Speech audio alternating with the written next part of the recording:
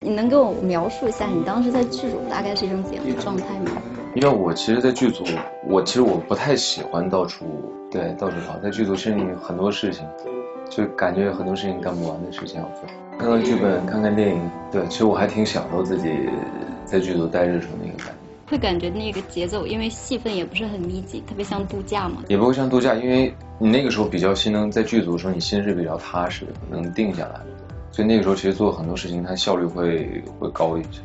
会去现场围观吗？比如自己没有自己的戏份，你觉得这场戏，哎，可能会比较好看，就去现场看一下之类的。这个其实我还不太去现场，我怕去打扰人家拍摄什么的，因为我还想给自己留一些想象的空间。我经常是跟导演聊，因为导演拍的嘛，所以我跟导演聊的时候，导演会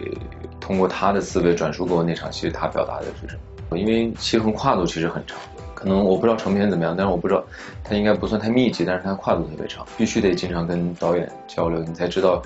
在他这一集或者是在这一部分的时候，他整体的基调是什么样的，你人物的基调是什么。